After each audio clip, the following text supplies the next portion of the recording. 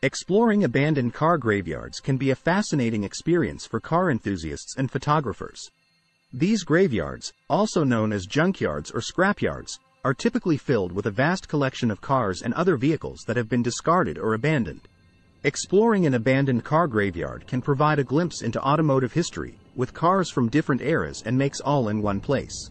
Here are some things to consider if you're planning to explore an abandoned car graveyard. Safety first.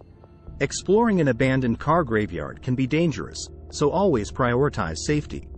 Wear sturdy shoes and gloves, and be aware of any hazards such as sharp metal or glass.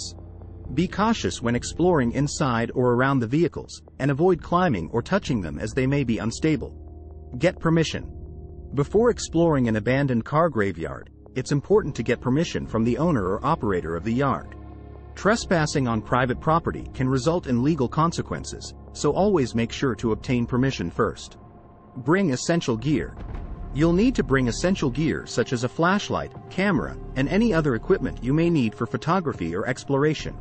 Make sure to pack enough water and snacks, as well as first aid supplies, just in case. Watch out for wildlife. Abandoned car graveyards may attract wildlife such as rodents or snakes, so always be aware of your surroundings and take necessary precautions. Document your exploration. Documenting your exploration with photos and videos can be a great way to share your experience with others. Make sure to respect the property and avoid damaging or removing any items. Exploring abandoned car graveyards can be an exciting adventure, but always prioritize safety and respect the property. With the right preparation and mindset, you can uncover a treasure trove of automotive history and capture some stunning photos along the way. Thanks for watching.